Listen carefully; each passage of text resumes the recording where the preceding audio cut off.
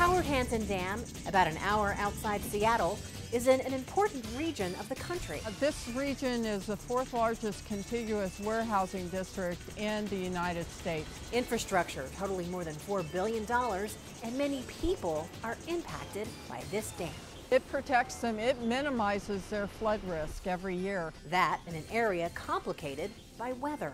The Pineapple Express is a highly concentrated, very narrow band of intense moisture that can carry as much water as the Mississippi River. January 2009, we had inflows of 30,500 cubic feet per second. which meant record water levels that created movement in part of the dam. So the grout curtain was installed. The purpose of it is to slow down the groundwater movement and also lengthen the groundwater movement through the right abutment. Um, you can kind of see the concrete ecology blocks. That's the uh, alignment of the grout curtain. The grout curtain itself, it's not really a structure. It's just uh, its its its purpose is to reduce the permeability of the the landslide material.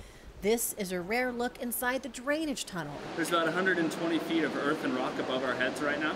where the Corps of Engineers monitor seepage reduction measures, uh, The flow that's coming out of the total weir. part of a long term plan for the Howard Hanson Dam. This information that is going to be instrumental for future operations of the dam, including whether or not we're confident to store a conservation pool to 1167 every year. The top priority for the Corps is safety for the people of the Green River Valley. Mary Cochran, Washington.